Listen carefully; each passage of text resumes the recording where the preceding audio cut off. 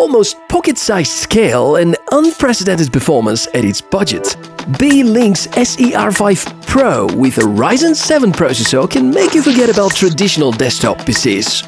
Or not? Let's inspect.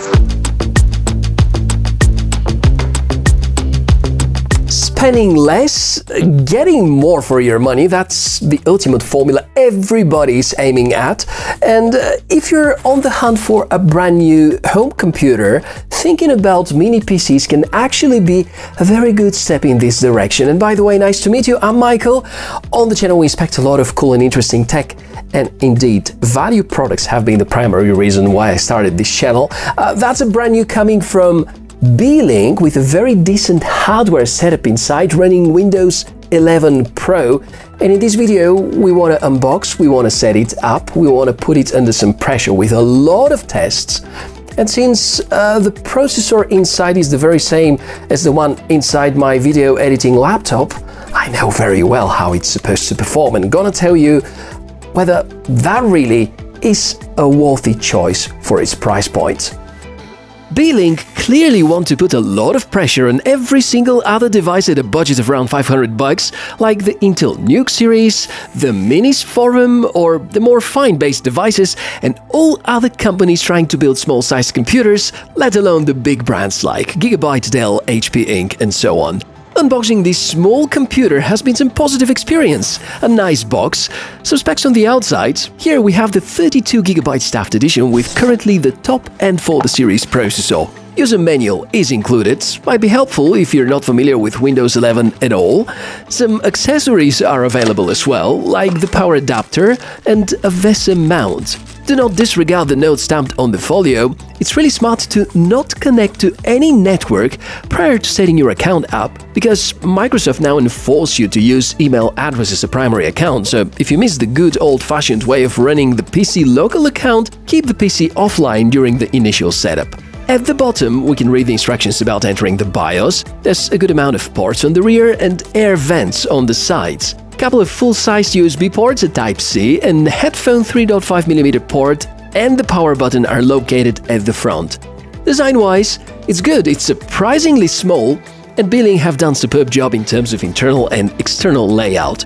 If you want a sneak peek of all the interesting specs, here's the octa-core Ryzen 7 CPU, an octa-core integrated graphics implementation as well, 32GB DDR4 memory, 500GB NVMe drive, you can connect up to 3 monitors, there's Wi-Fi 6AX support, active cooling and Windows 11 Pro as an operating system. The specs sound great and you can see the size, the scale, the multiple connectivity ports on the rear side and the three USB ports on the front. So far it looks great, but there are a few things you should carefully consider before going for the SER5 Pro by Beelink.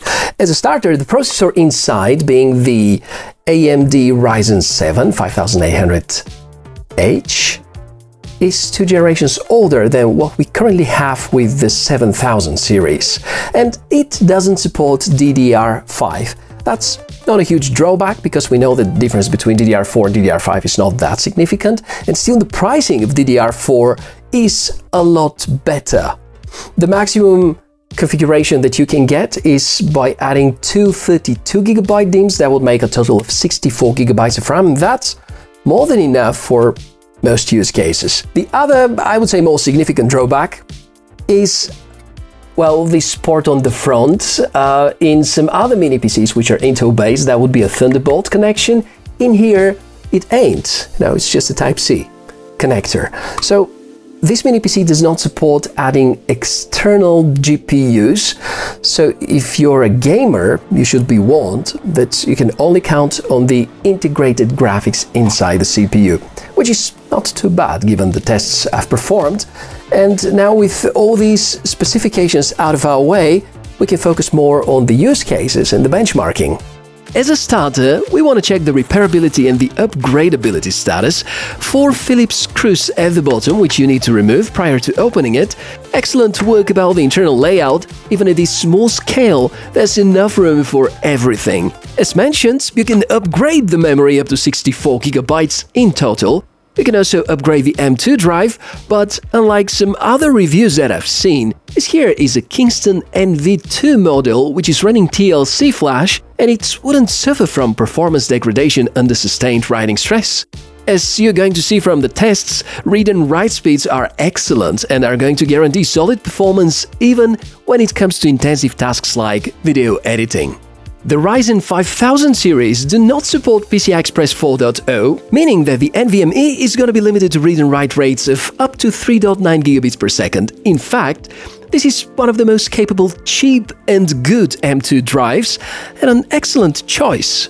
But I also need to warn you that you shouldn't take this model for granted, because I've seen the same box equipped with the NV1 or another Intel model. Yes, I've been lucky because this is the best out of all options at this budget. Apparently the wireless controller is also removable. Here we have an Intel AX200 chip, which, again, could be swapped for another module in a later or a newer batch. With this particular one, I'm easily reaching the supported maximums by my home network and copying files wirelessly from a NAS device works as quickly as it works when copying from the LAN. Bottom line, a CPU failure or a system board failure might result into inability to fix the box, but as you can well notice, there's good amount of internals you can easily service or upgrade. Let me be very clear about what this setup can do. Office work, web browsing, listening to music, watching videos, such kinds of basic computer tasks are something like a warm-up for the SER5 Pro. If you're buying this PC for just office work, you're gonna be fine with half of these specs. On the other hand, longevity and staying future-proof could be of course a reason to choose this particular Beelink model. I'm trying to say that this is a little beastie and among the best computers you're gonna ever find at a price of less than $500. Furthermore, power consumption is on the lower side and even at maximum load, SER5 Pro remains very power efficient, consuming less than the peak moments of my smartphone's charger. Just saying. I was positively surprised by the good video editing performance. The Vega 8 iGPU with this processor is really decent, allowing you to play a lot of modern games at acceptable frame rates. I'm not a too passionate gamer, so usually stick to the basics, but here's an example with Counter-Strike, which works quite fine, and even after 2 hours session there haven't been any stutters, but you can well notice that the GPU is maxed out during the whole time, and still, I haven't lowered any of the graphical details.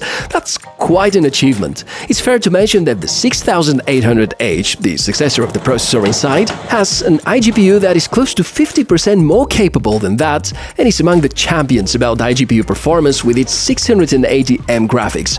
But know that Vega 8 on 2000 or 3000 series is considerably slower than what this Beelink model is equipped with with its 5000 series processor. So again, it's kind of the sweet spot. Note that for as long as the box is really stressed, so is the fan, and there's considerable amount of noise you're gonna be able to hear. There are ways to control the fan behavior in the BIOS, I would recommend to stay with the defaults though. As for the software, you know, Windows 11 Pro, you can of course go for Linux distributions, but you're gonna be on your own in terms of support and drivers. It comes pre-licensed. The Professional Edition is of course a lot more capable than the Home Edition, and for the fact that your software doesn't require any extra fees, I feel that SER5 Pro is a lot more tempting than what you think. Eventually, did I stumble across any drawbacks? Yep, there is no Thunderbolt support, the fan is a bit noisier than expected, and that's it. There's nothing else I could criticize. My personal opinion? Beelink are hitting the sweet spot with their SER5 series, and the difference between the Pro and the non-Pro edition is just around $50, meaning that you should really think twice before choosing. And uh, with the Pro Edition, you get a Ryzen 7, you get faster Wi-Fi transfer speeds and a few other extras, but even the non-Pro edition is really fantastic with its Ryzen 5 and all these fantastic specs which guarantee good enough performance in a 2023 setup. And look at the size, it's ridiculously small. Now, Before you make a buying decision in case you're on the hunt for a mini PC, I really think you should consider very carefully your choice. And in case you're looking for DDR5, for Thunderbolt support, and maybe for an Intel based setup, then you should check the Beelink's model with the Intel 1240p, which true costs around 200 good dollars more than what we are talking about, but might be the right choice for you. And as usual, it's been such a pleasure to see you here on the channel. In case you want to ask a question or comment, you can do it down below, and I'll put in the video description some more information about the SER5 Pro. I'm gonna put a purchase link, which you can also use, and a discount code, if such one is available. And I thank you very much for watching this episode. And in case such kind of video reviews are useful, I'll be happy to see you again, therefore, subscribe. Have a great day. You.